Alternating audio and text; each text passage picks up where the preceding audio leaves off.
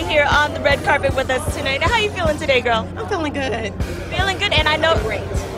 great is even better than good. Yes, it is. and of course, we all love you from the Steve Harvey Show, but I know that you got a lot going on right now. Tell me a little bit about that. Oh yeah, there is a lot going on. Um, relocating to Atlanta, um, developing a television series to shoot in Atlanta.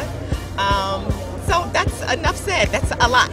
Can you give us the inside scoop on that television series? Uh, I'll just say that it's a very sexy uh, dramedy, half-hour dramedy, and it's going to center around sex therapy.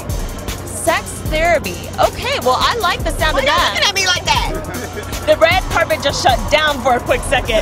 We will be very excited to see that from you. And you're also very active in uh, philanthropy as well. Tell me a little bit about that. I have a foundation that I've had for about 13 or 14 years. It's called Take Wings Foundation. You go to takewings.org, um, where I work with young girls that are 13 to 18 years old, growing up housing and foster care, um, based in the San Francisco Bay Area. That's where I'm from.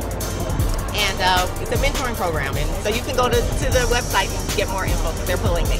All right, well, thank you so much, and thank you for representing Thank for the community as well. good night. Terri Vaughan, y'all. Representative.